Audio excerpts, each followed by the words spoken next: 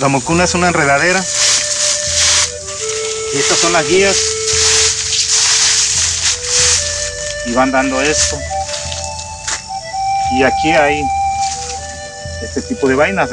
son verdes en un inicio y después se ponen café.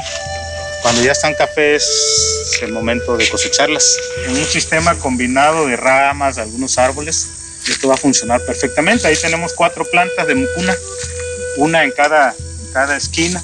Tres tipos de mucuna, el mucuna blanco, el negro y hay otro que no tenemos por aquí, en otra zona que es más pintito.